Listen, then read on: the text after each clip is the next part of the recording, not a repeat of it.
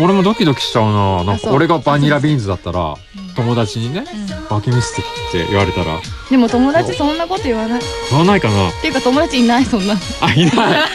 思ったらいないよ私。そうだよね。そうだよね。ねいやいや俺も友達に脇違う脇見せるって言ってそう言えば言わないわ。と言わない言わない言わない。ですそもそも言わない。ね。妹とかのお姉ちゃん脇見せてって言われたらずっと見せますけどね別に。えきほえきほえ今日すごい。知って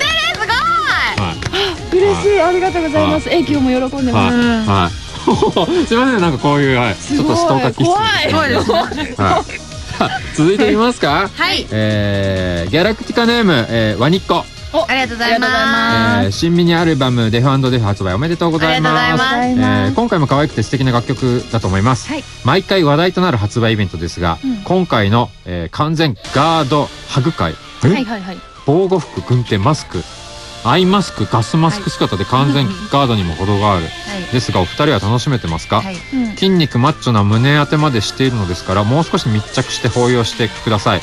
リリーベ、今週末まで続いて大変だと思いますがお体に気をつけて頑張ってください。おたきんに感染しないようにね。オタキンはい。オタクキンってことですかオタク菌じゃないですかやウォっぱはい。ータウォーターウォタキンなるほど。ありがとうございますハグ会楽しいですよ。うん。昔はなんかビンタとかやってませんでしたっけ？ね前回のシングルが「ラブヘイト」だったんで、はい。あのヘイトということであそうか。ビンタをヘイトねしたんですけど、はい今回はよくわかんないですね。デフデフだから、何もかかってないね。何もかかってない。ただの思いつきっていうけどすごいですよね。あのーこ現役のアイドルがはい。ハグをしてくれると。でも完全防護されてるんですよ。防護服を着て、は中に筋肉の胸板みたいなのつけて、はいして、はいマスクして、はい。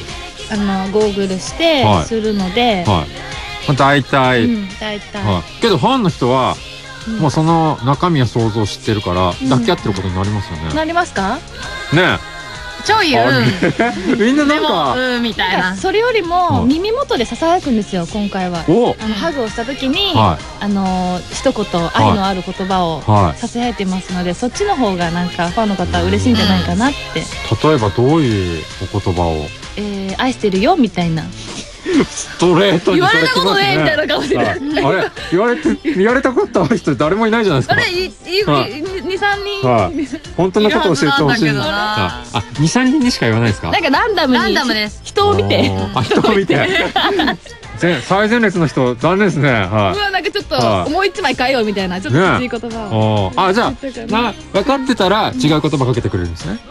そうですじゃああの、同じ人だったらじゃあ5枚買いましたと、例えば僕が言って、はい。1回目、はい。あのじゃああの飛び降りてきなさいって言われたとして、じゃあもう1回来ましたと、はい愛してるよって言われるかもしれないと、言われるかもしれない。かもしれないランダムですそこは。うん。どちらどっちに言われるかっていうのもランダムなんあですよ。そうなんだ、はい。これはじゃあ34枚用意していかないと。そう2枚買えばちゃんと2人から両方から。言われるんでおー。4枚買えば2人から2言ずつ。愛してるもうん。あるかもしれないと、こうん。れちょっと言っとかないといけないかもしれないですね、うん。はいちょっと頑張ろはい。来うあいいっすねこういうね。てくださいえー、とまだあるんですよね。あじゃあ後ほどねちょっとインスタイベントの、ははいいあのじゃあスケジュールの方をおはい。伺いしましょう、じゃあ続いていきましょう、えーギャラクティカネームダイヤモンドパワー、えーバニラビーンズさんコンコンバレルツイスター。コンバレルツイスター？はい、えー僕は先日渋谷でキャンペーンをされているバニラビーンズさんにお会いしたのですが、うん。覚えてますでしょうか、はい覚ありがとうございます。よかったねダイヤモンドパワー。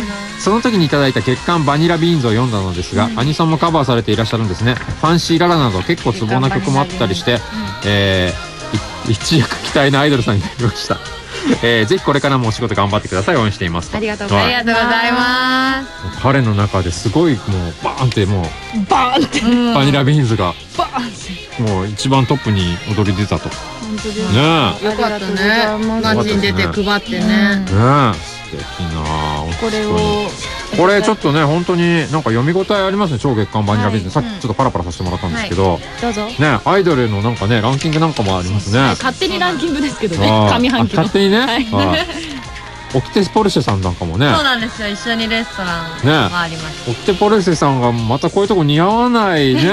こういう。ちょっとあのだから顔に力がないんです あのなんか ちょっと弱めなんですこの日は。あああまり着慣れてないんでしょうねこういうなんかこの日不安で来る前になんだっはけ UFO をはい。食べてきたらしいです。ほ不安で不安でしょうがなくて 緊張しちゃって。落ち着こうと思って。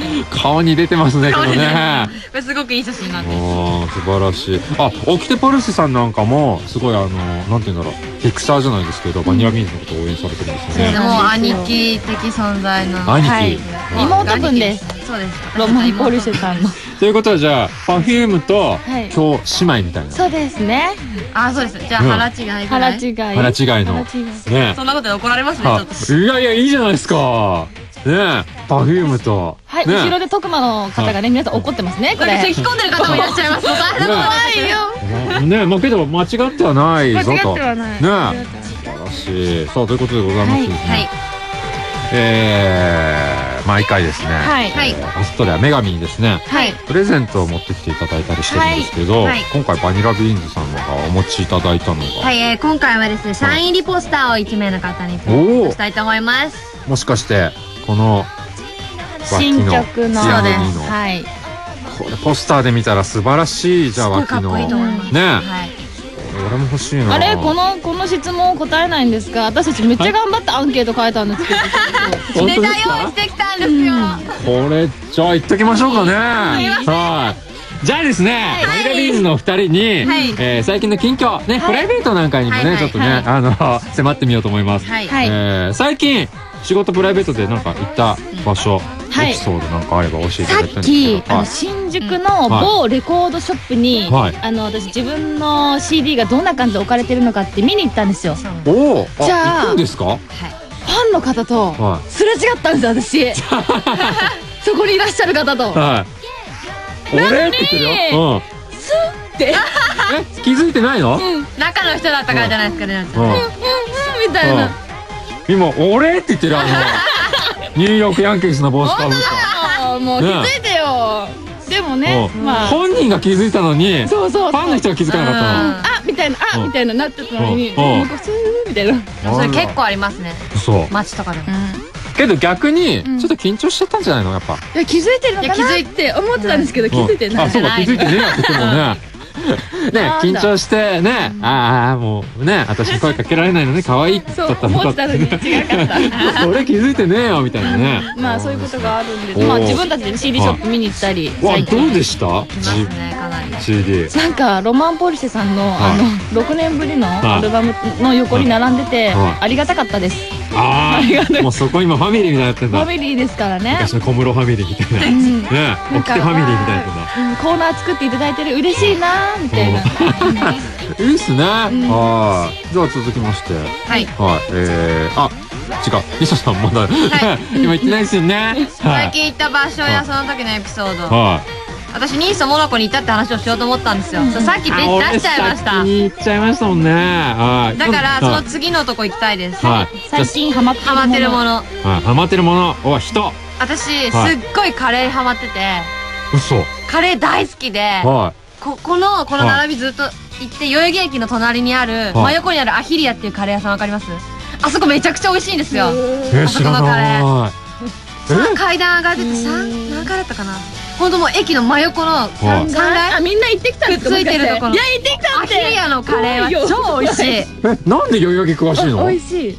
あそこは美味しいって有名なんです。代々木美味しかったの美味しいですよね。カレー屋があるって有名なんだ。めちゃめちゃ美味しいあそこのはハマらない私結構行きましたあそこ。マジっすか？あ、じゃあ、来週行ってみ唯一ようかな。ママ的な人だけが日本人なんですよ。あ、あとはみんな方あのインド人的な人ではいこう何にする？はい。何にする？ご飯にする？インド人的なっていうか今日は多分インド人何する？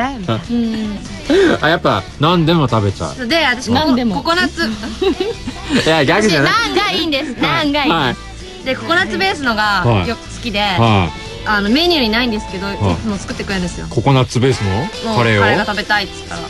じゃあ言えば俺も作って作ってあげるよとか言って。優しいですね。うん。優しいですよ。家庭的なんですね。すごいよあアフィリア？アヒリアさん。アヒリアあぜひ行ってみてください。チェックします。ありがとうございます。じゃあえー